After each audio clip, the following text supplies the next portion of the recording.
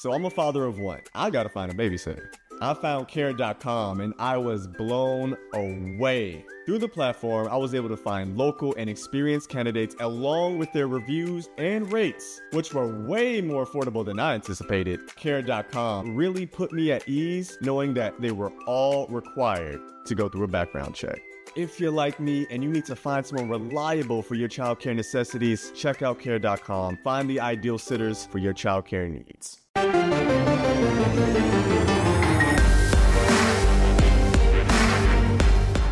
Welcome to the PowerCat Podcast, GoPowerCat.com's Kansas State Athletics Show. Make sure you're subscribing to our show at Apple, Spotify, Amazon, or wherever you get your podcasts. Now, from the GPC studios, here's your host, GoPowerCat publisher, Tim Fitzgerald. Welcome to another edition of the PowerCat Postgame Review Podcast. I'm Go PowerCat publisher Tim Fitzgerald here in the GPC studios in Manhattan, Kansas. And joining us is Brien Hanley, our football analyst based out of Texas. And of course, we are sponsored by Caddyshack Golf. Caddyshack Golf, where caddy with two T's Visit CaddyshackGolf.com for all of your officially licensed golfing Willie apparel, accessories, and more. Use code GPC for free shipping on your next order. Sunflower Showdown once again was a sunflower mowdown as Kansas State just flattened Kansas 35 to 10. The game wasn't that close. This was kind of a mismatch from the very start. And if you want to credit Kansas for one thing, they seemed to slow down the tempo of the game enough where K State didn't have a lot of possessions during which to score. So it kind of kept the score down. So congratulations on not getting beat too badly, Kansas. Tim Fitzgerald and Brien Hanley, your pair that always breaks down the Cats' wins and losses in very fair ways. We like to back up and take a look at things and analyze it. And Brien, was K State very good on Saturday, or was Kansas just awful? It was both. It was both. K State was really good. You know, I, I, it's tough as a kid. It's tough to play football when you're better than somebody you're dominating them. It's tough to keep that intensity level during the game. You know, it, it just is. And I thought that they were really good when they needed to be really good. And then we just kind of went through the motions because they're like, they can't do anything. Kansas is bad. I think they can get better, but they're, they're, they're bad. Um, there's no ifs, ands, or buts about that. But K State did what they needed to do. K State they, they played well. They they just did what they were supposed to do. They played well. Yep, it was uh, a game that really wasn't ever in doubt. Case as soon as K State got the ball, they went down and scored, and they led twenty-one to three at halftime. It it was just kind of a strange game. It, it never felt like there was much tension in the contest, unless you want to talk about a late hit. But uh, right. Uh, I just think Kansas State has settled in to an identity on both sides of the ball. It took them a while to get there, and I don't know that this these were necessarily the identities the coaches i intended at the start of the year. But here we are, offensively, they are a pass more often than throw offense, which is surprising because Skylar Thompson has advanced so much, and I can remember.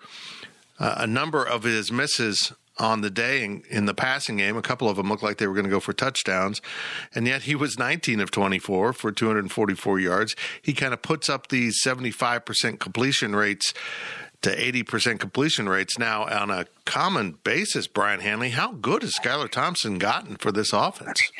He's good. He's been good. He's getting the ball out. The line is protecting. And, you know, the receivers are playing better. You know, I think just the overall passing game is better. Now, it, it, obviously it helps when you have a quarterback throwing putting the ball where they need to be, but I think the guys have gotten better around them. But there's no question, Skylar Thompson is playing lights out football. Fitz. I mean, he just is. He's just playing lights out football. And, and the thing about it is, and I know we'll talk about it. Maybe they haven't played the, the caliber of teams that they played early, but it doesn't matter. I mean, it, it, it doesn't matter who we're playing. If you're going to throw the ball and play like this, you're going to beat a lot of teams, you know, and, and, play really well. And they're playing very well. So more power to them. I'm, I'm happy to see it. You know, you bring up a really good point. I, I always say this when they play a team like Southern Illinois, an FCS team that clearly doesn't have as much talent as a Power Five team, but what they do have is confidence and a self identity and an understanding how to win games and a belief that they're going to win games. And and I think Kansas State is starting to arrive at that, even though as we now look at it, we probably have seen the eighth, ninth, and best teams and tenth best teams in this conference. TCU kind of shook that up yesterday, but um, it it does help me believe that this team has built some confidence in beating lesser teams, and now they're much better prepared for this stretch. That self belief goes a long ways, and Chris Klieman keeps talking about it. He's right. It goes a long way, you know, and in winning a football game, that game that they won at Tech was the difference. Is we got behind early. It couldn't literally couldn't have started worse, but they fought and fought and fought and ended up winning, and that has literally just snowballed. And confidence is key, especially when you're dealing with you know 18 to 22 year old kids. Uh, you know, it's the college game is a lot based on confidence. And when you can get it going, and the guy's got it going right now, you're going to be able to do a lot of different things. Practice is better. You know, that's an aspect that people don't realize. When you have your confidence going, practice is great. It's crisp, it's quick. You know, you get in and out of practice quick. It's just a lot of different things happen for a football team when you're confident and you're winning. So it's good to see the guys are playing well. Uh, and I'm excited for this stretch run. Yeah, I am too. It, it's going to tell us a lot about the state of the program.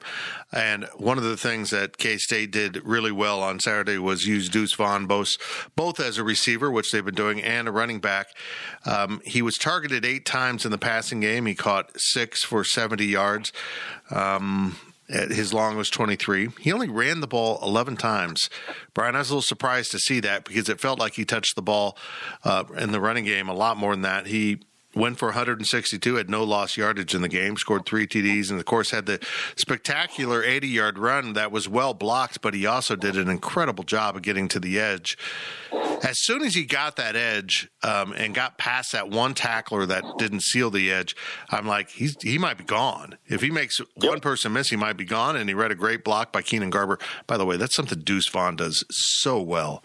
He yes, he does. He just plots out those blocks ahead of him and understands that I don't need that guy to knock him on the butt. I need that guy just to be in the way. Yep. And that's exactly what he, he set up his blocker to be successful and win for a touchdown. Yeah, well, it's just football sense, you know, and you can tell that his dad was a scout and has been around football. And in, in return, Deuce has been around football his entire life. You can just tell because the guy is a smart football player. And that's what it takes. You know, again, with a guy that's his size, to be able to play the way that he plays, you have to be smart. You can't run through everybody. So you have to be able to see what's coming, where it's coming, how you can get around. And he's been doing that his whole life because he's been small his whole life. So you have to figure out a way to be successful. He's figured that out. It's just great. He's just great. He's just a great running back, man. And it's amazing. You you don't really appreciate how small he is until you see him, and he's standing around with a bunch of reporters. Now, I mean small in height. He is a, a thick young man for his size. Right. He's standing around with a bunch of reporters, and he literally looks like he's he's being interviewed after a junior high science project. I mean, he's just everyone dwarfs him. Even the female reporters are are kind of dwarfing him. It's just incredible how how small he is in terms of stature, but how incredibly humble he is for a guy that's being as successful as he is. And I'm just going to say it. You mentioned his dad taught him to be a good football player. His parents taught him a lot of things about life that are going to make him successful off the football field. But Joe Ervin ran for almost seven yards a carry and nine carries for 60 yards. Everything K State did in the running game seemed to work.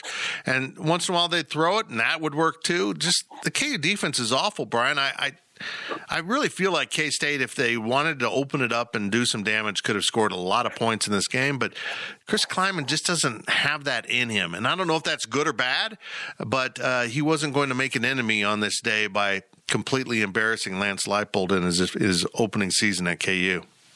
Well, you know, and there's something to be said for that, but also there's also something to be said to put your foot on somebody and just say, "Look, I know you're just getting started, but you got a long way to go before you get to this level."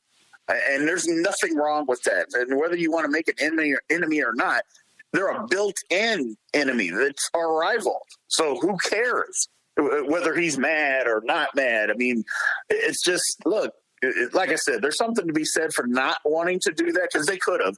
And I think when we got to a certain point, hey, let's just get out of this game healthy and get to the next game and do what we need to do. But at the same time, I think, you know, uh, there's nothing wrong with putting your foot on somebody and squashing them like a bug. There's nothing wrong with that. Because on the flip side, and I'm not trying to change the subject, but if it was the other way around, when it's KU basketball against K State, they will put their foot on our neck if they need to, and, and won't even think twice about it. We and that's a philosophy that, in my opinion, we should have. Right. When you're able to do that again, I'm not talking about against teams that are inferior, like eh, like a Southern Illinois or somebody, a conference opponent, your rival. You bury them every opportunity you get, so they don't even think that they can beat you. Just my opinion. Well, that's that's a very interesting take, and um, you, you know, I I watched KU play yesterday, and I'm like they don't have good football players. I don't care No, what the no. recruiting rankings were. I don't care what they came in as. I, I don't know if they're in a position to turn this ship around anytime too soon because here's my fear for if I'm a KU person. First of all, let me just say this. The transfer portal is a gift and it's a danger. The transfer Yep. portal can help a program like K State tremendously in the fact that K State, frankly, isn't recruiting at a real high level right now. They just lost another kid to Stanford over the end of the week there.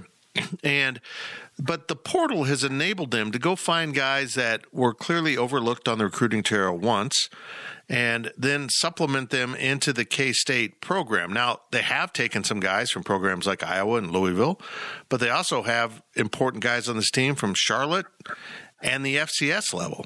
And um, it, you can go find help and, and get help. Now, I think Gary Patterson was beating his chest over this. He's worried about some of these programs constantly being the farm for the SEC or whatever. And as soon as a player breaks through, they get an offer through sources that they can go someplace. And I think KU's in that position. A running back like Devin Neal. What happens? The kid's from Lawrence. He's a great kid from all accounts, wanted to be at KU. But what if through back channels he hears the SEC, an SEC school wants him, and uh, he could be the starter there? It's just going to get I- really tough on Kansas. It- it is, but you know what? Fitz, be better. Be. That's all I can say is be better. This is big time college athletics. Clearly, there's money involved, but I don't want to get into that part of it. It's you have to just be better. It's K State did it, and now it was a different landscape. So I will admit, totally different landscape. But I don't care. K State came from underneath the ground to be a top football program. It can be done if you do it the right way. The transfer portal helps if you use it the right way. I mean, we have to change with the times. It's basically a new recruiting tool that you have to use to your benefit. Again, yes, you're going to lose some guys, you're, but you're also going to be able to get some guys. But that means you just have to be a better recruiter. You just have to be better. There is no ifs, ands, or buts. I mean, it's not, you know, uh, I'm under the belief that there's no participation trophies in anything. Either you get it done or you don't. And if you do, great. If you don't, you don't. Things change. And this is something that has changed. I know a lot of people think that the rich are going to get richer, and they will. They do. That's how it works. But that doesn't mean that your program has to fall by the wayside. It's just what you said. You can get help from anywhere to help your program. I mean, and my philo- thing is, well, what would you rather have? Would you rather bring in a guy that a plug and play guy from a JUCO or a plug and play guy that's played three years at Louisville or three years at Marshall or Charlotte? Of course, you would want that kid. So it's just that's just me. I think it's a great thing. K State, I think, uses. I mean, again, you're going to lose some guys that's just the nature of the business because the business has changed. So you have to change with it. And if you don't, you're going to get left behind. So that's the whole thing is you have to change because it's not going anywhere. It literally isn't. It's not going to go anywhere. So if you don't change, it's going to be a problem. You know, one thing that has changed is people are so impatient now. They, they Oh, yeah. just demand results immediately. You know, I, I had someone text me, I don't see that Leipold's making much progress at Kansas. I'm like, dude, he, he's been there like four or five months or whatever it is. Right. I mean, he didn't have spring practice for heaven's sakes. Uh, Right. I, I don't know that you could expect anything more. In fact, I think they should take their one win, almost like K State did in '89, and say, "Job well done." We didn't think that Yeah. could happen this season after uh, such a late change in coaches. But Yeah. people fail to remember that Bill Snyder showed progress in year two and three, but it wasn't really to the fifth year that he saw the breakthrough with the bowl game. Uh, In Right. fact, in year four, they kind of took a step back and had a losing season. And, and it almost strikes me now that it's so hard to get to year four. People were wanting Chris Klieman out this year because he might go five and seven. It's they just people aren't patient enough to let something set in and work. And and one of the things I watched Bill Snyder do is he always tried to recruit to get a little bit better. Now, I know that sounds obvious, but he didn't sit there and say, We're the University of Kansas, like Lance Leipold might, and we need to go find four and five star kids. He went out Right. and said, I'm going to improve at linebacker. I'm going to recruit over the top of this guy and go find someone better. And they may not be all Big 12 material, but they get you better. And they and Right. slowly, Bill Snyder built K State with better and better players until when you came around, he was recruiting players that could compete with anyone at any level, anywhere in the college game. And it took 10 plus years to get it done. It takes a long time. Yeah. The thing about it is, and you know, I, I'm a fan. I, and I'm, like I said, I'm from Louisville, so I've been a fan of Louisville, and they're going through that literally right now. They got a new coach, and now they have some other issues. But people are wanting the guy fired, and he hasn't even been there in three years. And I'm like, first of all, their program wasn't in shambles. I go, but it needed some some repair. You got to give somebody at least a chance to get the players to run their system in. I go because if you're if you don't give them that opportunity, then why do you hire them to begin with? And it's just like you said, there's just no patience. And you know, and Coach Klieman is doing a great job. He didn't need. I mean, even if we would have had a losing season this year. He didn't need to be replaced. Not that he was going to anyway, but he didn't need to be replaced. Now, maybe he needed to shake up some things on the, on the staff, you know, and you can do that. And I'm not saying they still don't do need, need to do that because you can always get better. You always need to keep getting better. But as far as just churning things over, that's I mean, KU has done that. I mean, they got rid of Mangino, and they have been horrible ever since. Not bad. They have been horrible since they manufactured a way to get the guy out of there. Well, that's that's what happens. I mean, you can go down the list: Tennessee, Nebraska, Texas. I mean, there's plenty of these schools that think that they're better than what they are. They get rid of coaches and then just have been terrible. But KU takes the cake. I mean, they have just been. I mean, I, I don't even know what you would call them. I mean, it's just been horrible.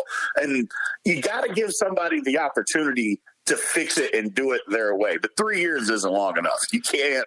I mean, you can't. No. Now, granted, now if you're coming from a five and six team or something like that, and you get rid of the coach, and then you win two games, you know, over three years, that's something different. But KU's awful. You know, let them build the program. Well, You know, give them some time.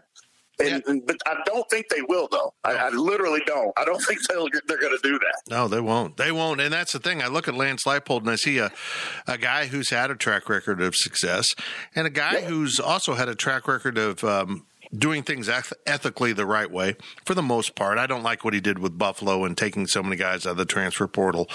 Uh, Right. you know, he kind of recruited his old players, and I that's a little bit tacky. But if he's doing things the right way, and you're seeing progress in terms of improvement in recruiting and on you know Saturdays, the play is getting better. You got to give him five years. And I just don't Yeah. see how they're going to give him five years if at the end of year three, maybe he's three and nine. Right. But folks, that's a lot of progress. Yeah, it is. I mean, that's that's going the right way, and we're just Yeah, not patient anymore. We're just absolutely not patient, and we also absolutely just don't recognize that once in a while the ball bounces the wrong way, and you might lose a game you should win, and Yeah. um, then you want to fire a coach. I don't, I don't know. I'm, I got into KU a little bit there, but I, I see some comparisons to what I've experienced at Kansas State because the team I saw Saturday, I've always told people KU is so much better off now than what K State was in 1989. Um, Well, and it is very true. But on Saturday, I saw a talent deficit so shocking that um, I, I don't know what KU's going to do. I, I don't know how they're going to retain decent players when any other better opportunity comes along because they will with the transfer portal. yeah, it's it's going to be a challenge, you know. But again, you got to dig yourself out of it. Just dig yourself out of it. You know, you're here. This is what you're what, what you're at. Just go dig yourself out of it. I mean, um, obviously, you got to do things ethically. So, the, the, I mean. That kind of goes without saying, but you know they, they can figure it out. Look, if K State could figure it out, it's kind of what you said. If K State could figure it out, I know the landscape is different, but is it that much different? Because yeah, people can transfer away from KU. Well, nobody even wanted to go to K State to begin with, so it's kind of the same type of deal. So you can figure it out. It's just how do you do that? You got to dig and you got to find it. You got to recruit. They'll. I mean, maybe they'll figure it out. Maybe they won't. I don't know. It's to be honest with you, it's not our problem. I love it. I love it. really good stuff, Brien. Let's put a pause right here as we take a break on this edition of the PowerCat postgame review podcast. Kansas State beats Kansas 35 to 10 on Saturday in Lawrence. Onward and upward for the Wildcats. Something we'll discuss right after this. GoPowerCat.com's PowerCat podcast continues after this short break. Is your January looking dry? Get some lotion. Get a humidifier. And better yet, get Drizly, the go to app for drink delivery. With Drizly, you can compare prices across local stores to get the best price on a huge selection of drinks perfect for dry January. Every single time. Non alcoholic wines? Have a look. Ready made mocktails? Grab a straw and order 'em up. Beer without the alcohol? Yep, take your pick. You can find all of them here in the app, in that phone that's in your hand. Could it be any simpler? Nope, not a chance. So shop for great deals on all your dry January beverages or other drinks and get them delivered to your door or blanket fort, maybe. Download the Drizly app or go to drizly.com. That's D R I Z L Y.com. Must be 21 plus, not available in all locations. And don't forget to lotion up your elbows. They're looking a little dry. If you're in the market for investment worthy bags, watches, and fine jewelry, Rebag is the answer. Rebag is a luxury resale marketplace where each piece is carefully vetted and verified by experts to ensure quality and authenticity. If you're in the market, use Rebag to buy and sell finds from the world's top brands, including Hermes, Chanel, and Cartier. Head to Rebag.com to get 10% off your first purchase with code REBAG10. Shop today at Rebag.com. That's R E B A G.com and use promo code REBAG10 for 10% off your first purchase. Welcome back to the Power Cat Podcast. Now, let's return to the GPC studios. Welcome back to the PowerCat postgame review podcast. Tim Fitzgerald of GoPowerCat.com and our football analyst Brien Hanley here discussing K State's 35 to 10 victory over Kansas on Saturday, but mostly pivoting now and looking forward to the Cats as they face down the final three games of the regular season and what will take place. We are sponsored by Caddyshack Golf. From the golf course to the tailgate, show your purple pride all week long. Caddyshack Golf, wear caddy with two T's. Visit caddyshackgolf.com. Use code GPC for free shipping on your next order. I know this is meant to break down the previous game, but I don't think there's anything in depth to break down about this game. K State was a lot better than KU. K State could have won by more. They didn't. It wasn't a sign of poor play. It was just a sign of how the game unveiled itself. And and I just thought K State looked efficient, except in special teams, oddly enough. And uh, I thought the Wildcats did a nice job. But they are going to face three really interesting challenges to finish off the season. And that's where I want to go with the remainder of this episode. Um, West Virginia, Baylor, and Texas all are very comparable to K State with one glaring exception being that those three schools lost on Saturday and sometimes in surprising fashions. But I think these are going to be the ultimate test for Kansas State because I think by season's end, this might be the fourth best team in the Big 12. Your thoughts? Well, um, I really think, and this is not me being a homer, I, think K State can win these games. Matter of fact, I expect K State to win these games because with the confidence level that we've gotten over the last week and the way that we can execute both on offense and defense, and we know our special teams when we need it, we're going to have it. I just believe that it's going to be, I, I think this is something that we can do. Not that we can do, that we're going to do. I, I, just firmly believe that, Fitz, that we have turned that corner you know and again it's kind of what you mentioned before and i know we've talked about it. If we're wanting to go to where we want to go, where we want to go as a program these are three th- three games that we need to win. And i just believe that the guys are good enough I believe they're tough enough. I think the coaching staff has figured out what works and what doesn't work and can put us in the position to make the plays necessary because these are going to be three challenging games. I mean, these aren't going to be blowouts. I mean, they're going to be tough. West Virginia's defense is tough. My goodness, they're tough. And so we're just going to have to figure it out, but I think we will. I think we got the, the I think we got over the hump of the self doubt you know, and when we get into adversity, I think that Texas Tech game is really going to go a long way. I just do. I, I, cannot figure out West Virginia for the life of me. They they look so good on some Saturdays, and then they have a day like yesterday where they give up a lot of points to Oklahoma State, and they absolutely cannot score. Their quarterback yeah. was sacked eight times in the course of the yeah. game, which uh, probably has King Felix salivating. Uh, and, and I really think that's a key here is K State has to continue to use this defense in the manner in which it has. It has really carved out a nice, very conservative approach on first and second down, in which they just really want to hold that line of scrimmage and get enough pass rush so the quarterback can't, you know, sit there with the ball in his hands. And then on third down or in second and long, they bring in that pass rush group and they just attack the line. And I, I think it's working for K State. And other than a few plays they gave up to the Jayhawks on Saturday, in which you know they led to the ten points for KU. I thought the defense was just so sound, and oh my God, Daniel Green, quit hurting people. He he took out two quarterbacks on Saturday with nothing dirty, Ooh. just absolutely playing football at a high level. But this defense is beginning to get that sense of itself, this belief in itself, and yep. if you're a defender and you're taking uh, the the field with any other approach than I'm going to tear your head off and take the ball from you, you're probably yep. not going to be as successful as you need to be. That's exactly right. K State has figured it out on what they are doing on the defenses. Not that they didn't know, but I think just the coaches have have, have figured out this is what we do best, and we're just going to do it. We're not going to try to make, uh, you know, and, and, get fancy with stuff. This is what we need to do. This is what we're going to, how we need to do it and just play fast. And that's what I'm seeing is the guys are playing fast, you know, and you know, when the game is slowed down for people is when guys are playing fast and not having to go here and run there and do that kind of stuff and think about it. They're just going and reacting. And I love it because that's how defense needs to play. That's how defense needs to play to be successful. You just need to be able to to know where you're supposed to be and just go do it. That's it, and not have to think and and settle and read too much. Because if you do that, you're on your heels. In defense, you cannot be on your heels and play good defense. It's literally impossible to do.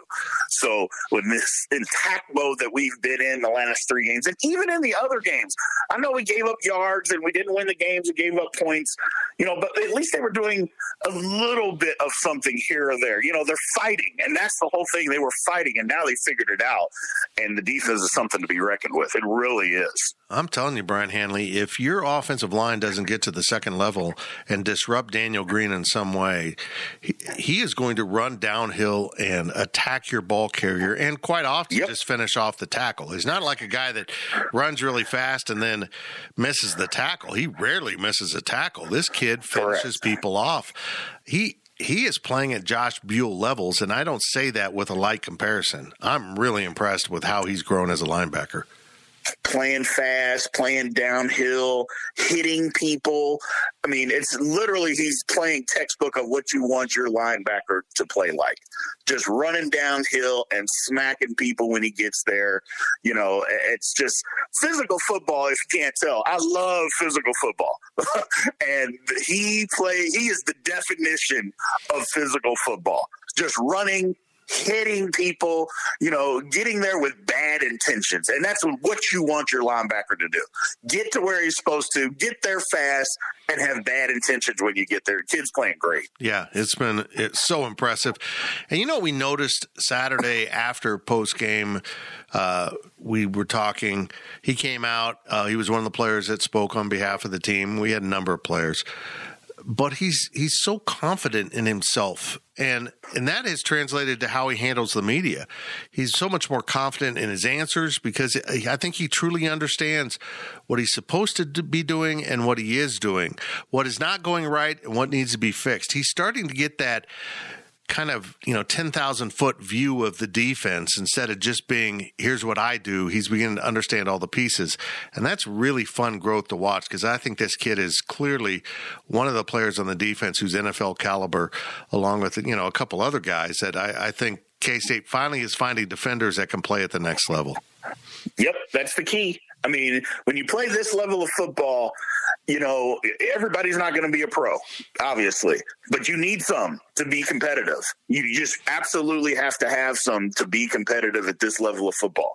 And K State has found a few, which is good you know, because we couldn't always say that in the last few years. We could, couldn't always say that, that we had, you know, guys, and not just guys that are going to be on a practice squad for a while. We have guys that are going to be in the NFL for a while playing competitive downs that are going, you know, that they're going to be talking about for a while, you know, and that's what you literally have to have to compete at a high, high level, which we're competing at, you know, of college football. It's, it's a necessity. It literally is. It's a necessity. You have to have pros, and we got a few. That's good to say. That's a good thing. You know, you're never going to be. You can never have enough.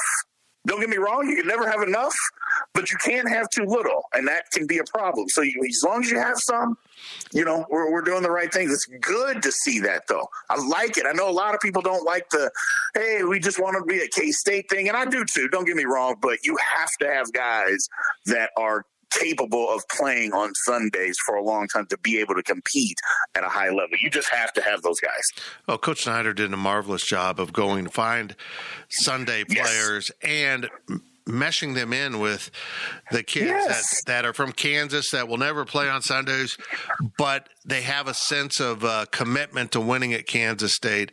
It just mystifies me how Kansas has gone through a few coaches that just didn't truly believe that recruiting Kansas was important, that there's not enough good players because K State is is down the road, just not too far, and they've proven that notion completely wrong. I don't understand it at all. There are good players in Kansas that can help you, or the metro area, if you want to include someone like Skylar Thompson or Felix Anudike-Uzomah, because that kid is from Lee Summit, was 220 pounds. He's a perfect kid for K State. Hey, come to K State. We'll give you time to put on weight and maybe you'll turn into something. And boy, has he. And that's just what you do at K State. You go find the kids that can help you. But Daniel Green, Portland, Oregon, four star guy, was a significant recruit. How did K State yep. get him? He had great issues. They were patient with him. He got eligible. He made it to Manhattan. Again, they recruited over the guys they had because they had two really good linebackers last year that were seniors, and Daniel played enough to know that he's getting there. And now that he's been asked to take charge, oh boy, is he taking charge. And that's exactly yeah. how you build a program. Exactly. People think, well, and I'm one of those. Look, I'm old school when it comes to recruiting. You have to recruit your state first. Basically, you go from your campus out. Now, obviously, Kansas is not going to have, uh, uh, you know, a hundred four and five star people, but you don't have to. I mean, I'm living proof and saw it firsthand. There's plenty of guys that can that you get. You just get all the good ones, as many good ones as you, as you can. Bring them to your campus, and you you bring them in, and, and like you said, they get around and they filter in and they form together with everybody else. I mean, it was it, it, was crazy for me to see that because you know, coming from the outside, I mean, I'm from Jeffersonville, Indiana, you know, and I, I would see it. I'm like, man, how is this guy best friends a guy from Miami, Florida is best friends with a guy from, you know, Kansas, you know, in the middle of Kansas, you know, Clay Center, Kansas. I'm like, you wouldn't even think they would even talk to each other, and yet they're best friends and live together. It's just what you have to do, man, at, at, at a place like K State. It's just one of those things you have to do. But there are, you're right. There are plenty of players that you can get. I'm not saying you're going to fill your entire roster up with them, but there are plenty of players that can help your program, and everybody does it. I mean, Oklahoma recruits Oklahoma. Do you think they get all their players from everywhere else? No, they don't. I'm like, you have to do that. I mean, you know, it's it's impossible to get people from all these other places all the time to fill out your roster. K State does a great job. I don't know why KU does it, but again, like I said earlier, it's Crazy. not really my problem. because it does literally look like a program that is going to go, going to find the superstars, but they, you know, because they do have some good players. I I don't know that they have as many as they've had in the past, but then they have nothing to fill around them. So the offensive Correct. line stinks. Four out of five right. Kansas State's offensive linemen, starting offensive linemen, are Kansas products. Yep. I, and yep. these guys, these guys a couple of them are probably Sunday players in Revis and Beebe. Correct. So Correct. I, I, don't quite understand why you're at least not recruiting offensive linemen at a great number instead of some of the reaches. They've recruited some offensive linemen out of Kansas. You look at and you go, I, I, uh, okay, I don't. I, is that like a an offer just to make an offer? It's just very strange. Now, the next step for Kansas State is to protect the borders better, and I think we all recognize that there's too much bleed off of talent, and honestly, sometimes they've gotten too picky. Breece Hall wasn't a good enough running back. Maybe he can play linebacker for us. Really? Uh, you know, yeah. there's a kid at Iowa that we don't know if he's good enough for us, and Arland Bruce is a, now a significant receiver for the Hawkeyes. So right. you got to stop this kind of over evaluating Kansas kids and putting them up against. Here's my thing. You can go find a more physically advanced kid in Texas or Florida right now than your typical kid in Kansas just because of the rules of the state. But boy, if you Correct. stick at home, you can go find those guys and still find those other guys. Uh, it it shouldn't yeah. be one or the other. You should just be really evaluating all of them. Yeah, I don't even yeah. know if that I mean, makes sense. It, it makes perfect sense, and you can absolutely do that. It's it's literally recruiting 101 is you have to get the kids inside your state. You have to do that first before you go anywhere else. You just have to because like you said, there might not be a million guys out there, but you know what? When the one guy comes along that is great, where do you want him to go? Do you want him to look at you because you you not only do you take a lot of kids from Kansas, the kids that do come from Kansas end up being really good football players. So you you have to do that and you have to be able to develop you know and if you can't develop then what are you doing as a coach anyway that's kind of goes without saying yeah. but uh, you know the whole recruiting game it, it, changes all the time you have to start from your camp from your campus and work your way out and again you'll find those other guys in Texas and Florida and all that stuff. You will. But you also have to have a core where you get certain players and certain things from.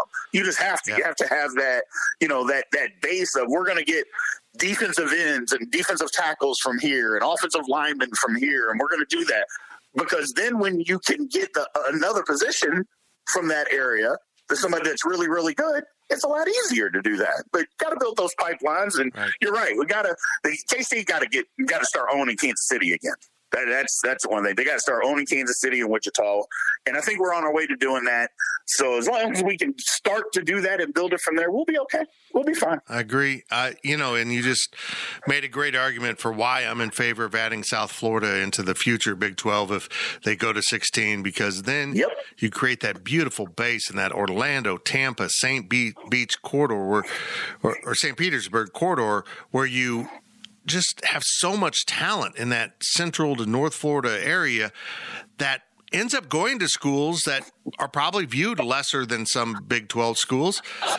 But they're out there, man. And if you can just go pick one or two out a year, RJ Garcia might be the best recruit in the 2021 class. Played his first game on Saturday at Kansas, got one catch. Didn't do a ton. I think he had only one catch.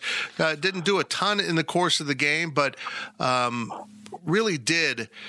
Uh, you know that really did enough to let you know. Oh yeah, this kid's got something. He's got here. something. He's got there's That's something right. here. And if you can go pluck a couple guys a year out of that area of Florida to come to Kansas State because they know they get to go back and play at home, eh, it's just huge. It's just it it would be Yep. so good for the conference if they added a really nice base there in Central Florida. Absolutely. Absolutely. I know everybody says Florida, Florida, Florida, and people get tired of hearing about it, but you know what? They play really good high school football in Florida. They just do.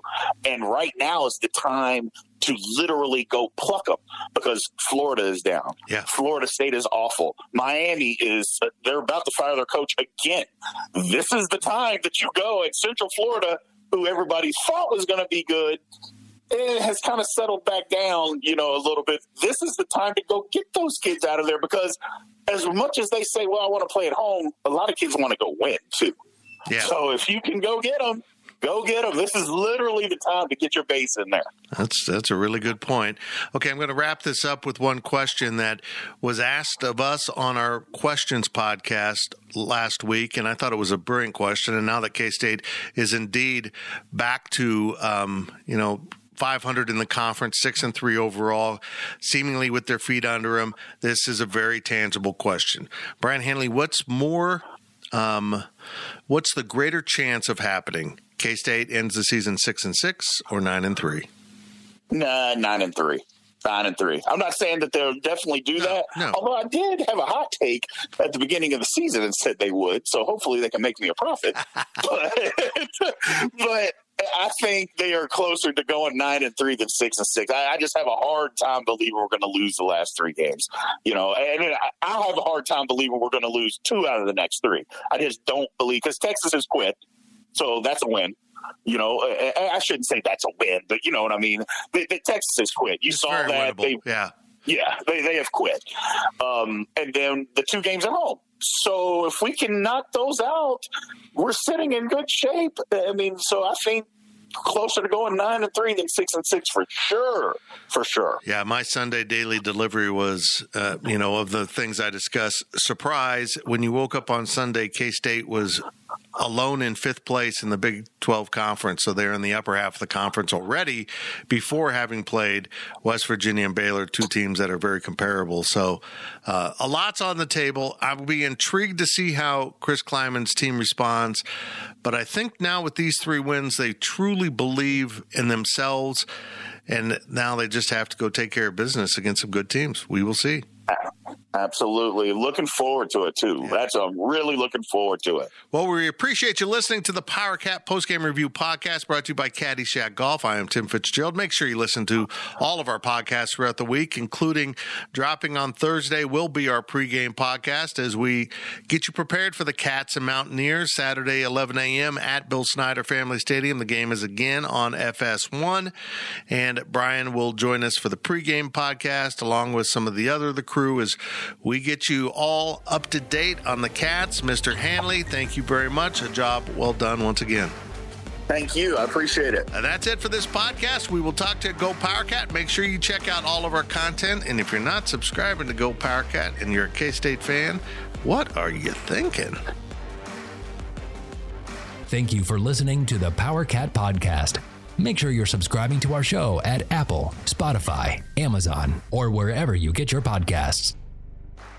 Powercat Podcast, all rights reserved, gopowercat.com.